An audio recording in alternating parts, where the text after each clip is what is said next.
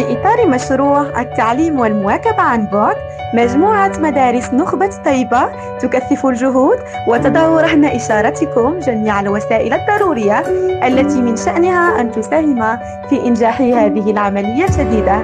كل الشكر والامتنان إذن للفريق التربوي والفريق الإداري والشكر موصول كذلك لتلامذتنا الأعزاء وآبائهم المحترمين على تفهمهم التزامهم وكذا مشاركتهم. والآن أعزائي التلاميذ سنمر إلى مكون القراءة موضوع الدرس هو تصفية الصعوبات بالنسبة للحروف التالية حرف الدال الذال الراء الزاي العين الغين. مع تسميع نص زهرة التفاح. دائما الوحدة الخامسة. الأسبوع الثالث الحصة الأولى. الهدف من الدرس هو دعم الحروف المتشابهة والأصوات المتقاربة. لدينا الحرفان. لدينا حرف حرف الدال والدال الراء والزاي العين والغين الآن سنمر إلى الكلمات البصرية. اقرأوا معي. أبريل خلف يمين يسار. عيد القراءة. أبريل خلف يمين يسار. دابا دابا قرأنا الكلمات البصرية. سنمر إلى هذه الأصوات. هنا لدينا أصوات الحروف.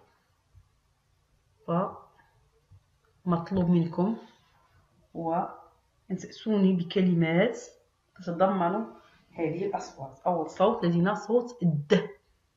يعني بكلمات تتضمن صوت الد. أحسنتم لدينا كلمات مثل كلمة ديكون. ديكون. ديكون تتضمن صوت الد. لدينا الصوت ذ. ذ.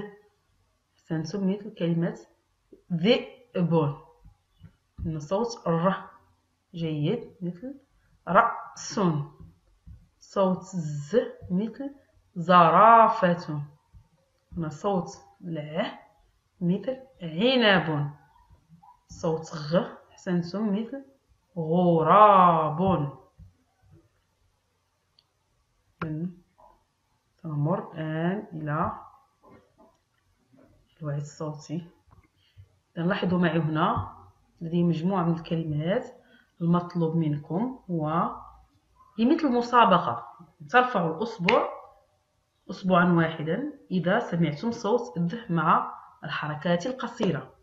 وإذا سمعتم صوت الذ مع الحركات الطويلة عليكم أن ترفعوا أصبعين وإذا سمعتم صوت الذ مع التنوين ترفعوا ثلاثة أصابع. نبدأ بركة الله كلمة مذاق. إذا هنا فقط خطأ مطبعي لأن الميم متصلة مع الدال. اقرأوا مذاقه ميم متصلة مع الدال. مذاقه. كم أصبع سأرفع. إذا أحسنتم سأرفع. أصبع عين لأن لدي صوت سده مع الحركة الطويلة. هنا كلمة ذاب. كم أصبع سأرفع. إذا سأرفع. أصبع عين لأن لدي صوت سده مع الحركة الطويلة لذيذ انتبه هنا. تنتهي بثن صوت سده مع التنوين. إذا سأرفع ثلاثة أصابع بذور بذور صوت سده. إذا مع الحركة الطويلة سأرفع أصبعين إذاعة. إذاعة. لاحظوا معي هنا الصوت ذ مع الحركة الطويلة. إذا سأرفع أصبعين ذكرى. ذكرى. لاحظوا معي. صوت ذ مع حركة قصيرة. إذا سأرفع أصبعا واحدا. يذوق. يذوق. لاحظوا صوت ذ مع الحركة الطويلة. إذا سأرفع أصبعين الآن أعزائي التلاميذ سأقرأ عليكم نصا.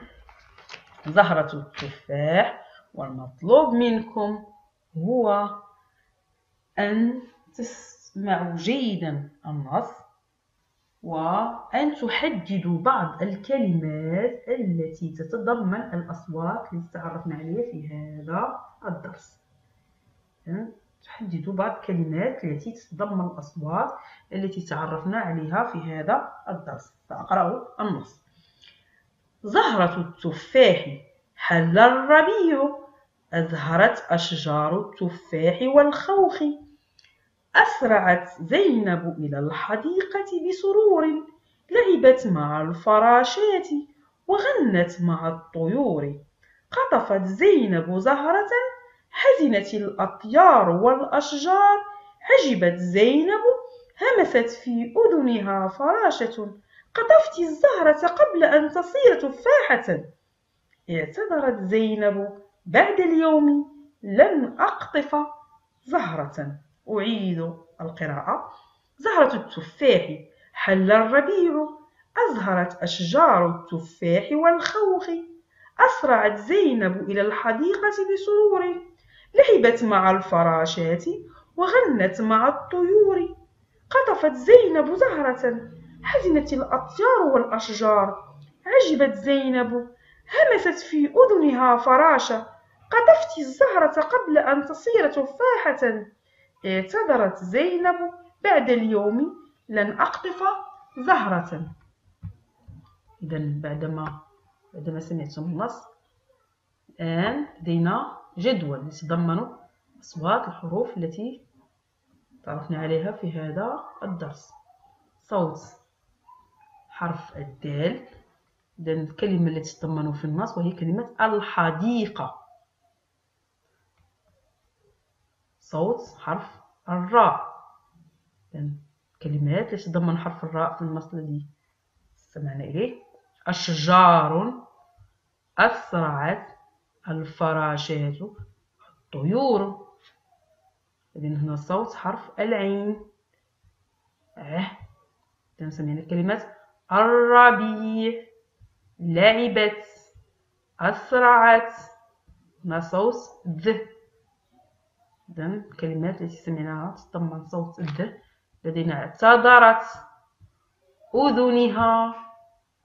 هنا صوت حرف الزاي أزهرت زينب زهرة حزنت. وإذا لدينا صوت غ. غنت. إذا هذه الكلمات التي ذكرت في النص وتتضمن الأصوات التي تعرفنا عليها. الآن سنمر إلى تقطيع بعض الكلمات لدينا كلمة أشجار هذا مثال فقط. أشجار إذن كيف سأجزئها؟ لأن أش حرف لسكون إذا هذا مقطع أول الحرف الساكن دائما يجزأ من الحرف الذي قبله. أش ثم جا. من الحرف المعلد إذا مقطع واحد. ثم لدينا رن مقطع ثالث. وهكذا أكون قد قمت بتجزيء الكلمة. الآن سنمر إلى قراءة مقاطع الحروف.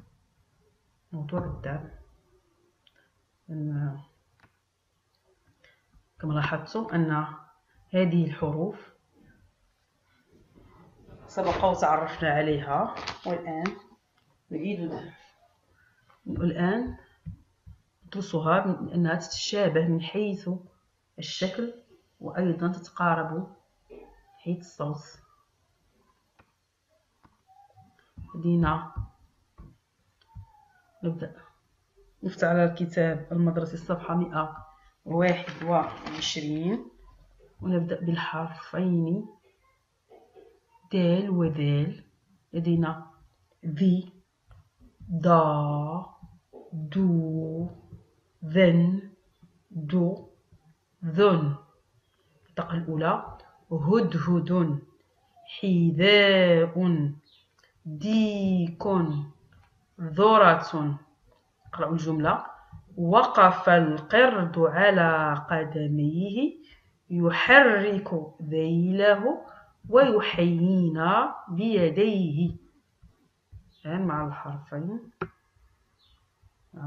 حرف الراء والزاي لدينا رن زن رن زي زي رو. زرع زنبور. زربية مزهرية.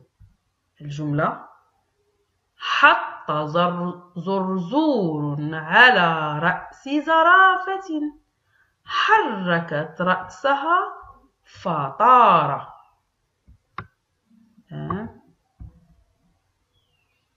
نعم حرف العين وحرف الغين.